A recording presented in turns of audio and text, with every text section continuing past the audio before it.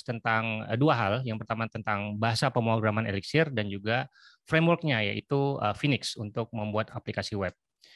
Mungkin untuk di Indonesia mungkin gaungnya tidak begitu terdengar, tapi uh, apa banyak fansnya yang ya jumlahnya tidak terlalu tidak sebanyak bahasa-bahasa yang lain tapi cukup uh, ini ya cukup uh, loyal juga dan terbukti dengan beberapa hari yang lalu ada apa survei Stack Overflow uh, Elixir adalah bahasa pemrograman yang paling disukai nomor dua di bawahnya Rust dan Phoenix menjadi bahasa jadi framework yang nomor satu yang paling disukai jadi uh, kita akan lihat sama-sama kita akan belajar sama-sama pagi hari ini mudah-mudahan teman-teman juga dapat insight dan dapat ya alternatif teknologi untuk membangun aplikasi web yang handal.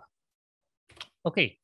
jadi Phoenix Framework ini apa? Ini adalah sebuah framework uh, modern uh, yang bisa digunakan untuk membangun aplikasi web yang sifatnya interaktif, gitu ya. Atau kita juga bisa membangun API backend dan Phoenix ini mudah didistribusikan sehingga kita bisa membangun sistem yang terdistribusi.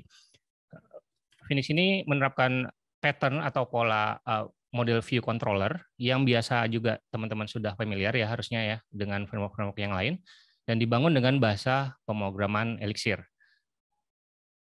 Dan kalau kita mau bandingkan dengan uh, uh, framework yang apa di bahasa yang lain misalkan ini se inilah selevel dengan Ruby on Rails, uh, Python Django ataupun PHP Laravel.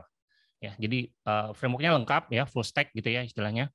Uh, semua sudah disediakan, uh, kita bisa dengan cepat produktif. Sudah disediakan generator juga, jadi memudahkan kita tanpa harus mengetikkan terlalu banyak kode boilerplate.